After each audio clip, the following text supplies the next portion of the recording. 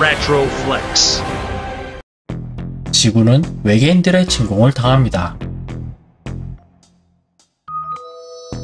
그리고 외계인들을 무찌르는 영웅이 등장하는데 그는 바로 두크 누켐입니다.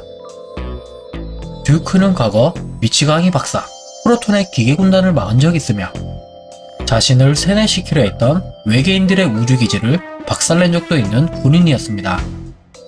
하지만 두크는 특이한 성향을 가졌는데 말끝마다 욕설은 기본이었고 여자를 과하게 좋아하지만 못생긴 여자는 혐오해 구해주지 않았으며 죽은 외계인의 시체에 똥을 싸는 등 엽기적인 행위를 일삼기도 했습니다. 그리고 그가 외계인을 무찌르는 이유도 단순히 이쁜 여자들을 구출하기 위해서였죠. 말도 안 되는 이유였지만 두크는 외계인들을 무찔러 세계를 구한 영웅이자 대스타가 되었습니다. 부와 명예를 얻어 바쁜 생활을 이어가는 중에도 쌍둥이 여자친구와 즐기고 있었죠. 어느 날 외계인들이 지구에 다시 나타났는데 심각성을 느낀 두쿠는 대통령과 연락합니다. 대통령은 외계인들과 평화 협상을 할 것이니 두쿠에게 선제 공격을 하지 말라 당부했지만 외계인들이 먼저 공격해왔고 두크는 어쩔 수 없이 학살을 시작합니다.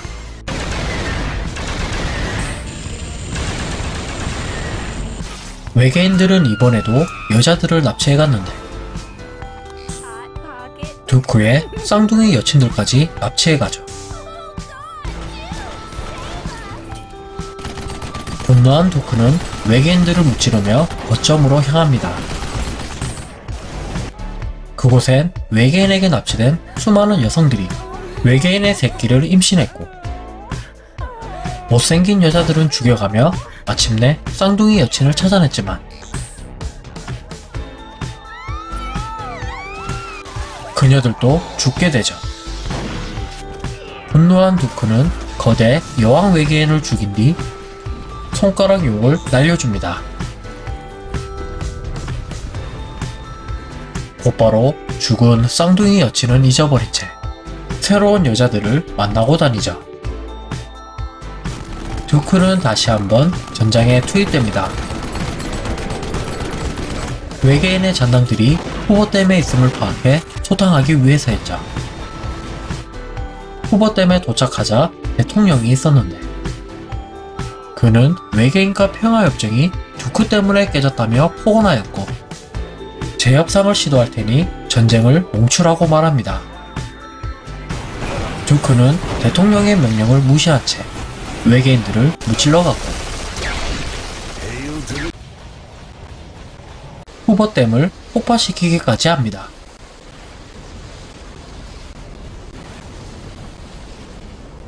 외계인들을 무찔렀음에도 대통령은 두크에게 폭언을 하는데 대통령은 원래 외계인과 협력하여 세계를 정복하려 했지만 두쿠 때문에 개에게 차질이 생긴 것이죠. 분노한 대통령은 핵폭탄을 조준해 두쿠를 죽이려 합니다. 갑자기 로봇이 나타나는데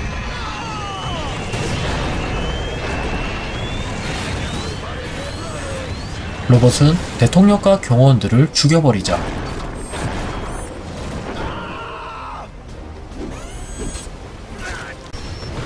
두크는 로봇을 무찌른 뒤 담내로 성수를 뿌려주었고 핵폭탄이 떨어지기 직전 수송선에 올라탑니다.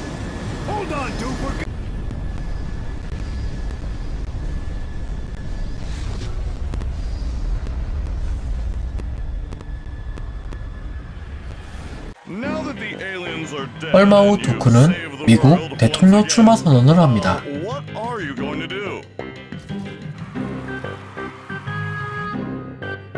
하지만 그는 가짜 두크였고 진짜 두크는 프로톤 박사에게 납치당해 있었죠.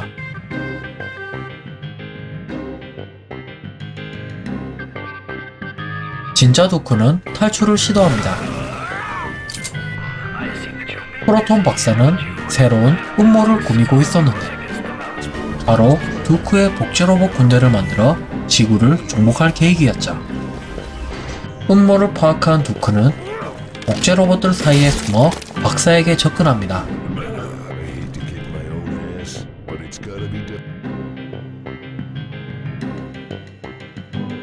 로봇 연기를 하며 마침내 프로톤 박사를 만나게 되는 두크.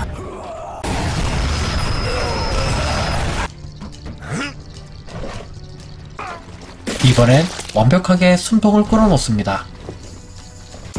그러나 아직 끝나지 않았습니다. 루크는 장군으로부터 새로운 소식을 전해 듣게 되는데 외계인들이 51구역을 점령했다는 소식이었죠.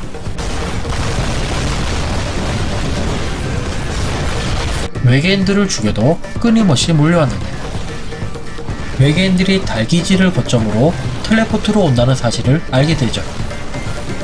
두크는 달기지를 박살내기로 결심했고 텔레포트 기지를 알고 있는 발렌시아 박사를 찾아갑니다. 발렌시아 박사로부터 비밀 텔레포트 기지를 알게 된 두크는 곧장 외계인들의 달기지로 향합니다.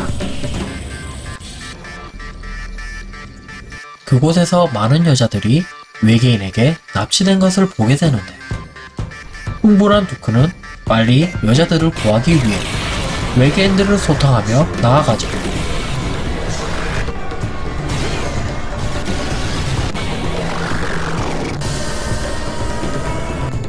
마침내 외계인 보스를 만나게 되었고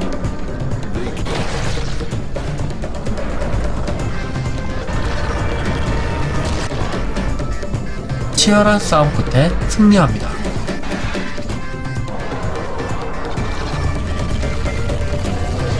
두크는 다시 한번 지구를 구해내게 되죠.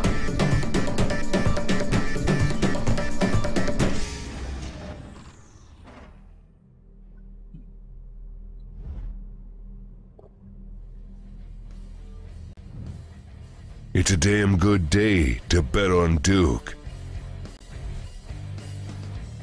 Don't worry, ladies. My friend will have this thing open in no time.